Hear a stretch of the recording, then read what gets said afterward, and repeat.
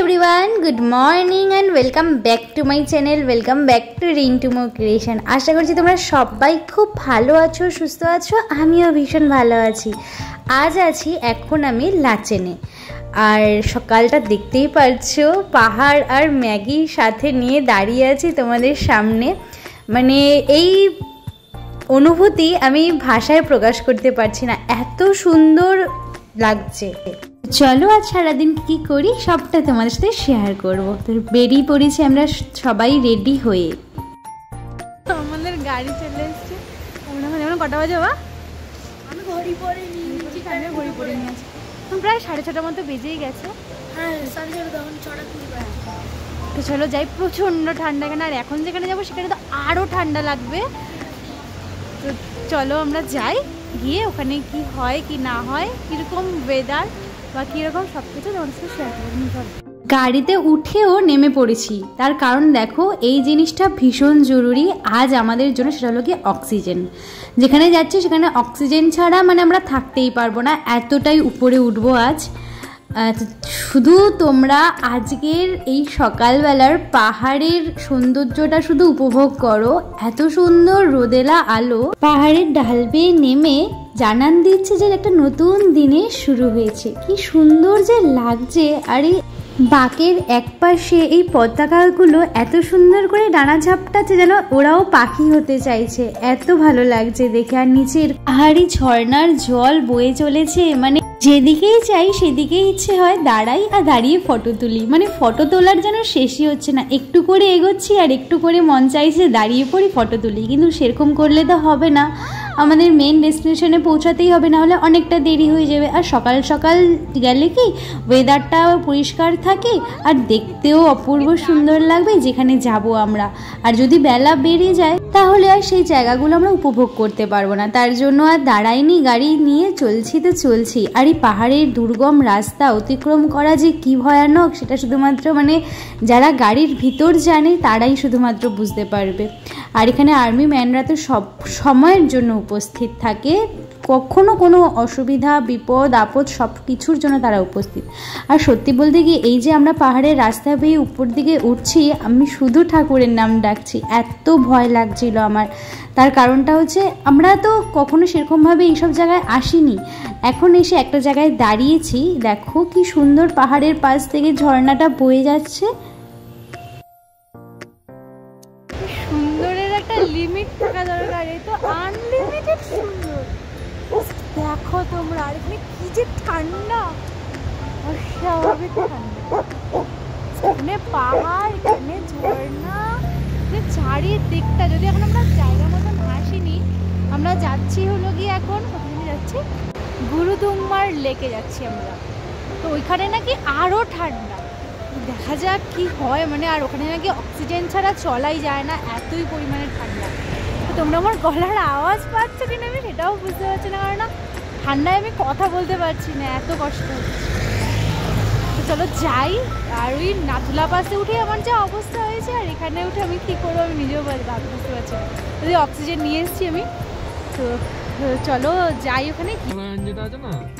আমরাও নিয়ে আসব হিমালয়ানটা বেশি হ্যাঁ পাহাড়ে হিমালয়ান চলে।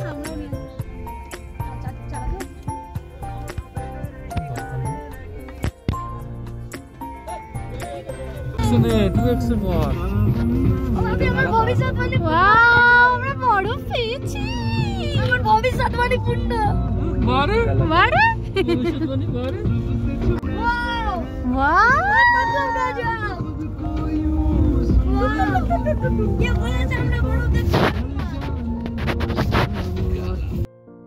চারপাশটা দেখছি আর মুখ থেকে শুধু একটাই শব্দ বেরোচ্ছে। ওয়াও, তোমরা দেখো, পুরো পাহাড়টা একদম বরফে ঢেকে রয়েছে। মোটা চাদরের মতো বরফ পড়ে আছে।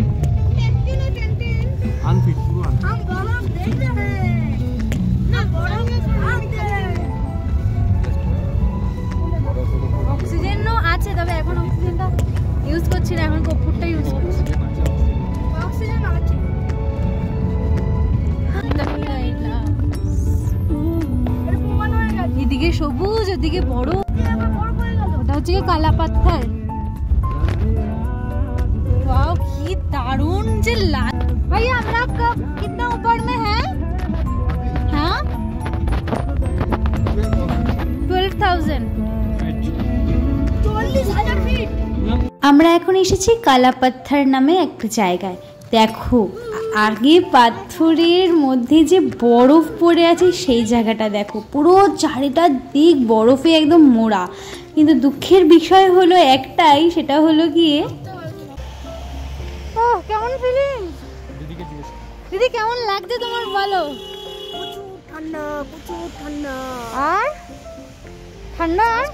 শ্বাসকষ্ট। কর্পূর মাস্ট অক্সিজেন মাস্ট এখানে।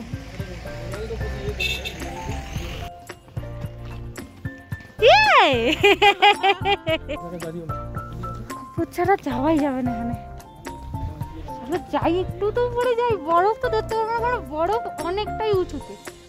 আর একটু পরে আসলে হয়তো বরফ মানে আর কদিন পরে আসলে বরফটা পেতাম। আচ্ছা। তার জন্য ইয়ে তবে যেটুকু এই সময় এসে যেটুকু পেয়েছি মানে কপাল বলা যায়।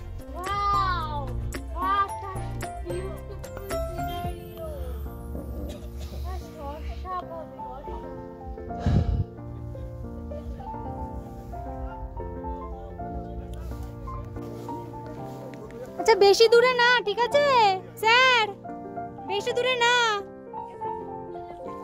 ও আঙ্কেল একটু বড় পানবে। সত্যি কথা বলতে কি বলতো? আমি তো ঘুরতে এসেছি ওর সাথে। আমি নিজের জন্য যতটা না খুশি হয়েছি তার থেকেও বেশি খুশি হয়েছি ওর জন্য। কারণ ও এতটা প্রেশারের মধ্যে থাকে চব্বিশটা ঘণ্টা এখানে এসে যে রিল্যাক্সটা ও করছে মানে এত সুন্দর মজা করছে নিজের মতন করে এনজয় করছে তার জন্য মানে আমি সত্যিই ঠাকুরের কাছে অনেক কৃতজ্ঞ।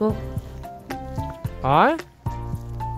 কতটা তোমাদেরকে এই ক্যামেরা বন্দি করে উপভোগ করাতে পারছি জানি না, তবে যতটা পারছি ততটা শেয়ার করছি তোমাদের সাথে সবটা মানে যাতে ক্যামেরার সামনে তুলে ধরতে পারি।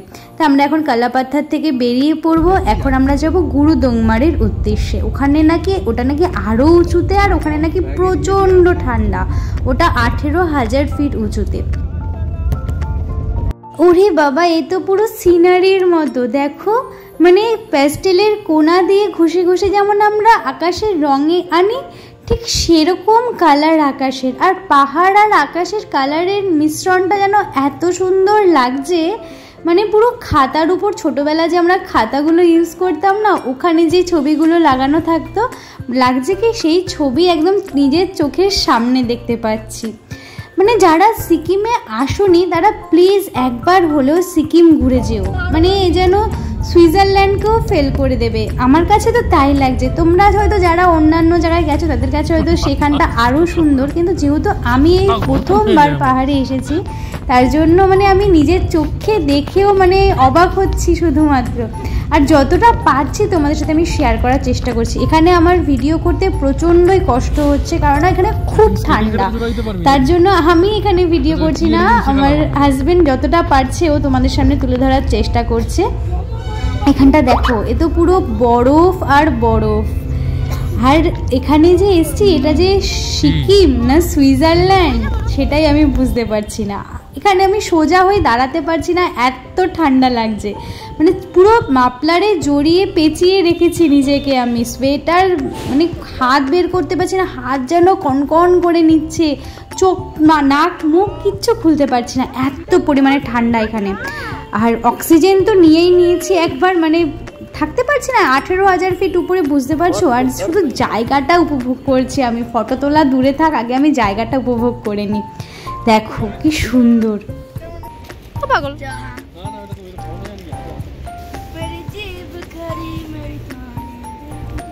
খায় না কেন?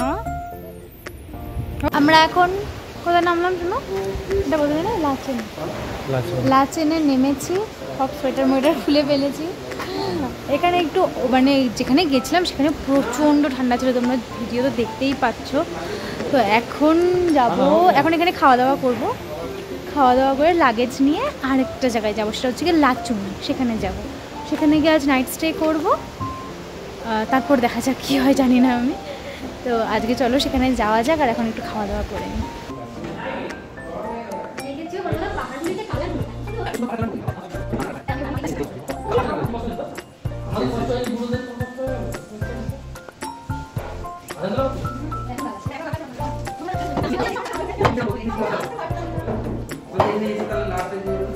খাওয়া দাওয়া সেরে গাড়িতে উঠে লাচুং যাওয়ার উদ্দেশ্যে এই সাইট সিনটা পড়ে। এটাকে কি বলা হয় জানো তোমরা? তার নাম হলো অমিতাভ বচ্চন ফলস তার কারণটা হচ্ছে এটা এত লম্বা। রে ভাই। ঠান্ডা এখানে। পুরো ঝর্ণার জলটা টানছে। আমি দেখো বীর পালোয়ান কোনো জায়গায় ঠিকঠাক ভাবে সোয়েটার পরে কোনো জায়গায়